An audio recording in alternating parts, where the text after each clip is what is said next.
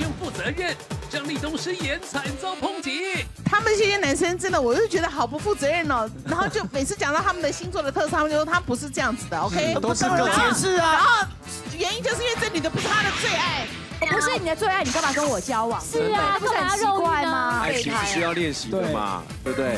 练习。你干嘛讲这个啦？张立东站好。太可恶了！把妹，竟连人妻何雨文也不放过。碰到这种搞暧昧的男生的话，要如何对付他们？要搞大家来搞啊，对不对？哦。我老公就是天蝎座，那天啊，我就是我们唱歌刚好有纳豆，他就说为什么会有纳豆？你怎么可能会跟他很熟？因为你是年轻挂，我们这种已经是妈妈。然后他就说。也很难说，纳豆也有可能会喜欢妈妈哦，他就叫什么？天蝎座多疑嘛，所以你刚刚这种动作，其实等于是你比他更搞暧昧的时候，他会更珍惜，表示我还是受欢迎的。你你哎，你晚上可以 A P P 我一下，不要再害我了。妈妈，老实说，什么？这样说的是呢，我想大家看到我头上戴这个摩羯，应该就知道今天要干嘛。今天是大家最喜欢的星座系列，我们要教。教这个呃，所有的女生如何对付十二星座男生。哎呦，哎呦，怎么了？学那么多干嘛？我一定要学。对，一定要学，因为这个事情，因为大家都说星座星座好像只是个统计学，但是它就是有点准。OK，与十二星座男交往都要有不同的手段。今天我们请到了张克凡、邓广福、张立东三位男艺人，还有何雨文、陈丽琴、李延景三位女艺人。与我们的星座天团们一起来聊聊，而当然，今天还有我们的星座专家王琦老师来告诉我们驯服十二星座男的方法哦。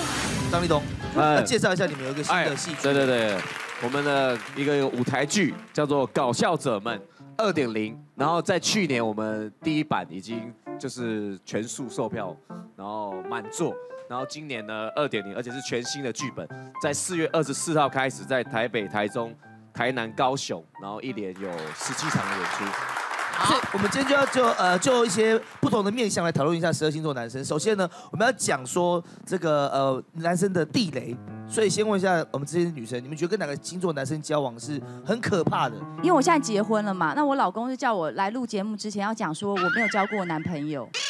其他男，所以我因为怎么讲？所以好意思。对，所以我现在要讲的意思就是说，我现在讲的都剩，嗯，接下来要讲的话都是我朋友的经验，这样可以吗？对对对，不是你不是，因为这样才很尊重先生。你先生什么星座？他天蝎座，所以你看，OK，就懂了。你看这个是不是二百五？天蝎座的老公，那他刚刚讲那一堆天蝎座听起来会什么感觉？就是在讲你自己的故事啊，是不是？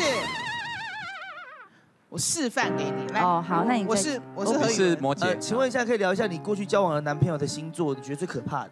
其实我结婚前也有认识一些男生，可是都是很浅浅的认识而已。我真正交往就是我先生，但是呢，但是我有一个很好的女朋友，她交过一个很特别的星座，那真的是全身都是地雷。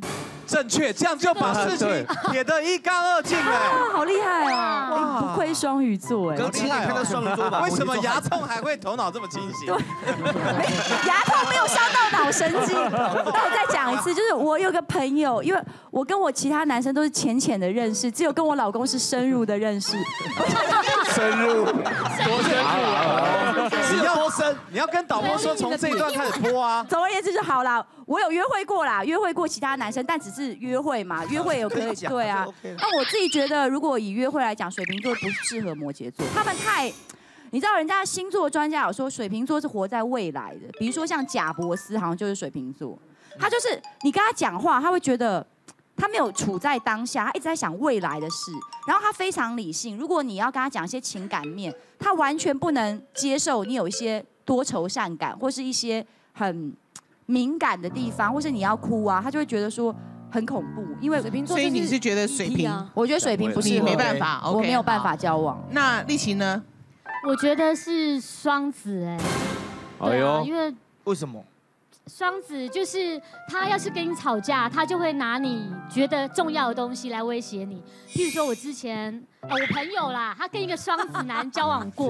没关系，我不介意，我不介意。你可以，不是你这样，你你老公不是天蝎座，你可以讲你你自己。不介意啦。啊，结果就大呃大家吵架的时候都还好，可是他会突然说，哎，这个兔子，他知道我喜欢那那个那个兔子，他送给我宠物，他就说这个兔子是我买送给你的，反正我们就是呃都已经不和了嘛。那我觉得这个兔子，他就把兔子拿起来，然后往那个地上一摔。哦，好可怕、哦！对，从此那个兔子看到我都吓得跟什么样，我觉得好可怕、然后你再跟他讲，就是说，如果你再你再这你再这么做的话，我就是要跟你分手，他就会去撞墙，我觉得很可怕。他摔兔子，对，因为他知道我很喜欢那个兔子，所以他伤害那个兔子。这样应该会被告吧？会有不要摔兔子？我我是双子座，可是刚刚那是一个误会，这是纯粹是一个个案，因为我个人很喜欢小动物，所以我不会拿女生喜欢的东西来威胁。就他也很喜欢小动物你哎，也被立功，真的。还是说回家就把你三杯兔肉？你跟人家吵架，或者会被拿人家很重要的东西威胁人家？不会你这个双子，我不会，会啊，双子，我双子，但我但我不会啊，而且我吵架，我是我不喜欢吵架，哎，好，那你遇过遇过你真的踩到地雷的是什么星座？我就金牛，金牛，就是有一次我们就是在就是酒吧嘛，然后就他的前女友出现，然后但是我当时认为他是前女友，但是其实他们一直没有分手，后来我才知道，然后就他的那个前女友的朋友就开始骂他，然后他就非常的生气，他就直接奔跑到外面去，然后就踹倒一台机车，然后就直接走人这样子。所以你是觉得呃金金牛。金牛座很会就是跟小灯 h k OK，哦，以杰呢？像我觉得是是双鱼座，因为我曾经遇过双鱼座是一哭二闹三上吊，哦那我觉得非常恐怖。因为他我发现他的简讯里面有女生传“我爱你”“我想你”的这些讯息，然后我就跟他说要分手，就觉得这样就不要再继续了。就他跑到我家门口来哭哭啼啼的，然后又下跪跪在我家门口四五个小时不走，然后之后我不原谅他，他还假装割腕要自杀，然后双鱼座会来这一套了。对啊，然后我还什么叫假装？就拿着刀子一直不割。对啊，他就拿着 快快快来阻止我！拿刀片，可是他只有割到破皮，也没有流血这样子。然后我还是不原谅他。你希望他流血吗？是不希望，但是我觉得这样很做作，你不要来这一套。嗯然后不原谅他，我上班上课他还是出现在门口纠缠。是哦，对，然后我还是不原谅他，他还扬言要杀我全家。哇我觉得太可怕了。他是双鱼吗？对对，哎，丽琪，你老公不是双鱼老吗？公双对啊，可是完全不是这么一回事哎。户口报错了吧？双鱼是很会哭啦呃，双鱼很爱哭，可是我觉得跟双鱼很难吵得起来 哎不。能有啦，我们看那个得奖的时候都有哭啊，有。跟双鱼吵架很无聊，常常都是我们天平一直念说你来来来一直念，然后双鱼都没有反应，好像在对牛弹琴哦。所以我不喜欢吵架。广福哥真的吵架觉得很无聊嘛，嗯那我就听他念，他反正他喜欢念，他要发泄嘛，那我就在那边等啊哈，结束了吗？超无聊。像有一次我们去吃铁板烧，然后吃吃完呃吃的时候，呃他送来一碗饭，结果那个饭是隔夜饭，我就就心情很不好，因为我觉得我今天去消费，然后去那边吃就是要得到好的服务。怎么吃得出来是隔夜饭？对啊，饭黄黄的，然后比较硬，感觉起来就是他什么都吃得出来，那个水啊，软水、硬水，有没有什么你成透明分在里面，他都哦。喝得出来，喝得出来，然后后。来我就跟他说，我说你你不觉得我们今天特地来这边吃东西，然后吃到隔夜饭，会觉得心情很不好吗？他就说啊，下次不要去就好了。我说。可是这样子，我们我们花这样的钱得到这样的服务，他说，哎，不要管他就好了。我就很气，越讲越火，他就很淡定，就这样，哎呀，不要来就好了。我就啊，气到后来，我就跟他说，这是不是你前女友开的店啊？不然怎么一点反应都没有？超气的。你看哎老婆这样欢了，你还不跟她吵，这个你蛮厉害。。没有，我最后真的受不了，我就大喊一声胡闹，就这样子结束了。结果他就笑出来了，我生气，他居然笑出来。他他就需要你陪他一起气呀。太无聊。不是啊，你你看一个，如果说一个男人也学他一样这样，对呀、我觉得真的好难吃哦，这像话吗？蛮适合你的哈。就是一起抽抽鼻我割完给你看。好，那所以干脆直接问男生好了，你们直接讲你们你们的地雷好了。大豆先，嗯，你先好了。你有地雷吗？我觉得好像没有。你一直手伸进去摸什么？我在摸着我的心讲话。地雷在哪里？地雷是我觉得我好像没有特别。你的地雷在乳头是不是？胸部我们在问地雷，不是敏感带啦！你在干什么啦？讲话大家都知道。那阿豆下次回答问题就好好回答，不要随便乱摸啦。来，柯凡哥，狮子座，最讨厌情人翻旧账。哦，对，这是我的大地雷。有一次我到泰国去玩，因为呃跟女生交往之初都会想要办一个什么国外旅游或者什么的，嗯，然后我就想说，好吧，那时候刚在一起还很甜蜜哦，大概一个多月哦，就说去泰国玩。然后我还订了那个就是曼谷之行那种五天四夜很 OK，然后我是那时候订的应该是半岛酒店，嗯。好在河那边这样子，不错吧？很棒。我告诉你，在在下飞机的时候，准备要过河去 check in 的时候，他就说：“你是第一次来吗开始喽，开始喽，陷阱题来了，很重要啊对陷阱题。？” 我说：“当然不是啊，我来过很多次，所以才能够当你的导游啊。”对哦，你一个人来吗？哎呦，哎呦，检察官，那我就觉得，哎，应该要说实话嘛。哦，啊，不是不是，我跟朋友一起来，是当时的女朋友吗？啊，对对对对对，糟了。解嗨啊！他就说：“那这样有什么好玩？你都已经来玩过了，我直接就是走这个方向的。所以在那个他那个河也没有要过多久，大概大概到上岸的时候已经吵到不可开交了。我说不然现在要怎么样？我说那跟你跟别人来过的地方是不能住还是怎样？他说他说你找得到更舒服的地方？我说找不到。那那我就我就我就生气了。我说好，那这样你住舒服的地方，我去别的地方 check in。就他就住在半岛咯，然后我就跑去那种当趟找那种很快捷旅店那一种，会有这种对事对啊这样哦然后中间是他泰币花完了才勾我一下哦，那你们不是一起要去 happy 吗？就五天四夜，就是去那边就已经吵吵翻了。然后，但是因为我因为踩到我的地雷，我走的时候我自己也很帅气。我如果再看到你，我跟你信，我就走了。哦我就啊后来回来就分手了。回来大概也没有多久，狮子座讨厌人家翻旧账翻旧账很没有意义，不觉得？还有在这种地方，我觉得会让狮子座人没有面子，因为我已经嗯 settle 好一个很完美浪漫的，然后没有面子。阿福呢？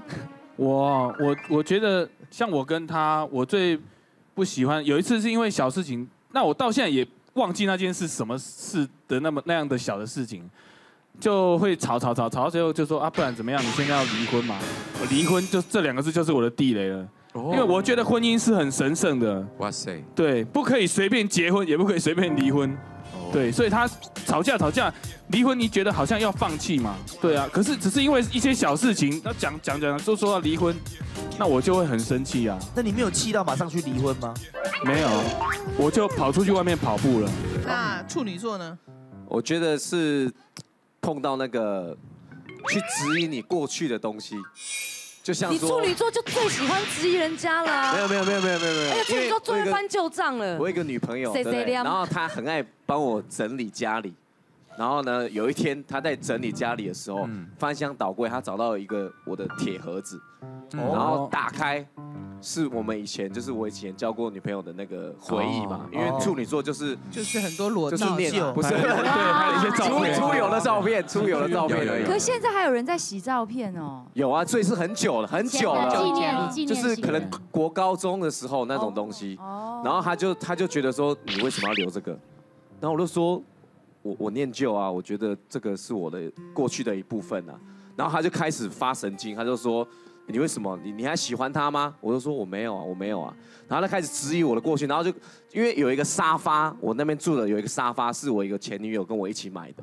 然后他因为我们很诚实，我们就跟他讲嘛，他就说。我现在连看到那个沙发我都很讨厌，我觉得你坐在它上面就好像你在睡它一样，他就会开始开始神经病，然后开始旁边有个音响，那个那个小喇叭也是，他连那个小喇叭都说，我现在感觉那个就是他的声音，然后我们就会很尴尬，哦，他就想要把那些东西都丢掉那你是不。是你也这样他？什么座他什么星座的？啊，他也是处女座，对嘛，处女座就是 处女就是刚好遇到对手而已嘛，相对不对？哈嗯，OK，好，再来，我们直接请王琦老师。王老师，首先先帮十二星座男生讲一下，这个前提就是女生都彼此尊重男生面子的状况之下，哈，我们如何和平相处啊？我们看一下跟火象星座母羊、狮子、射手应该怎么和平相处呢？哦，其实火象星座人喜欢比较直来直往、比较真诚的，啊，不喜欢拐 拐弯抹角的。其所以，所以张克凡的女朋友直接跟他讲，你不要带我你带别人去过的地方。嗯，他要要么就出国前直接讲，对，我可能就去一些什么，嗯土耳，其啊绿岛或者是蓝屿，就不会到泰国了。哎，但是也可以玩的很开心啊。对，其实你每一任女友都带去泰国过哈。念旧而且是半岛酒店 我们问，我们也是要问你喜欢去哪里玩？泰国好像不错，那我们就往那个方向。泰国饭店很多啊谁知道问五个有四个都讲不泰国？是因为我觉得大家真的要过去一点。如果你今天十八岁交一个十八岁，你可以说我一定要去那个你第一次带我来的地方。到我们这个年纪再交朋友，难哪里没去过啊？对对啊要去那种绝对没有带人家去过的，哎，就是因为那气氛好，或者那个旅游行程很棒，对不对？最美的风景就是你啊！其他好会讲话哦对我有什么意义？其实女生就是要听好听话，是啊，对对不对？嗯，对。所以我觉得不要当时候就没有这种功力。对讲这句话我在那湄公河上面就应该讲哎，不管跟谁来，最美的风景就是你，我就搞定了，解决了我就不用去住那什么快捷酒店了，真的。对，烂死了。呀。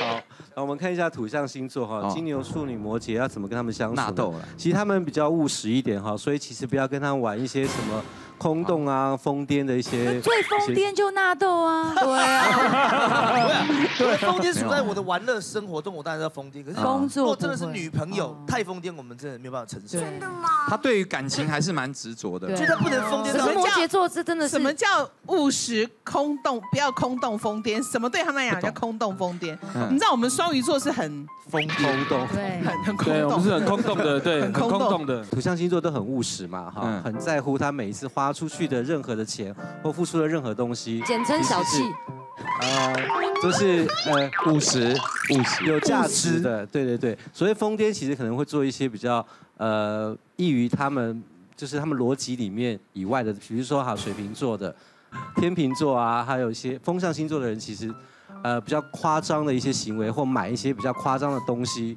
这种东西对他们来讲是一种呃超乎他们所谓的呃理性务实逻辑里面的思考范围里面。那空洞的话，就是像刚刚呃双鱼座啊，或者水象星座讲一些比较呃暧昧啊、不切实际的，其实可能你绕了一大圈，可能就是可能只要跟他说我想要这个生日礼物，可是你拐弯抹角讲了一大堆，然后最后其实其实摩羯座其实不爱这样子的东西，然后也不用讲什么未来什么所谓理想什么做就对了。可是摩羯座很会算，对，他会精算。我记得风象星座或土水象星座会突然说，我们今天嗯改变行程去吃那个好了。对啊，本来我们要就是要这样才才有乐趣。没有错哎，他就是这个样子。我超讨厌，就是我们今天去摩羯座泡温泉。